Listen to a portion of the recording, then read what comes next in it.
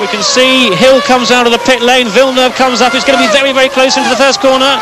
And that Damon Hill takes the lead and stays ahead of Jacques Villeneuve. Well, you can't be much closer than that. And Villeneuve realises that now he's got to go for it because Damon Hill's tyres are not as warm as Villeneuve's are. There's not a lot of difference in it. And, and Villeneuve fights, fights, fights and retakes the lead. Fantastic! Absolutely incredible!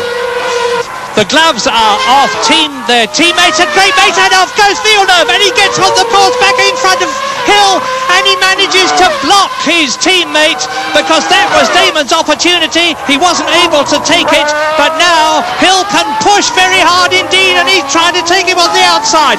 He nearly goes off on the inside of the corner. What a sensational scrap and remember this is for the lead between teammates.